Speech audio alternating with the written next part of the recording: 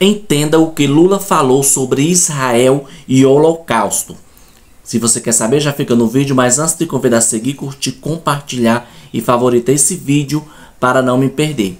A fala do presidente brasileiro sobre ataques de Israel a Gaza gerou mal-estar e crise diplomática aos dois países.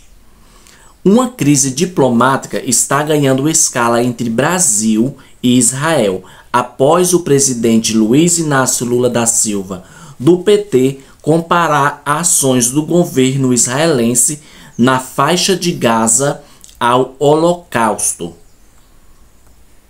O que está acontecendo na faixa de Gaza com o povo palestino não existe em nenhum outro momento histórico. Aliás, existiu quando Hitler resolveu matar os judeus. Trecho da fala do Lula sobre os ataques de Israel na faixa de Gaza que gerou crise diplomática. Então foi essa, pessoal, a declaração do líder brasileiro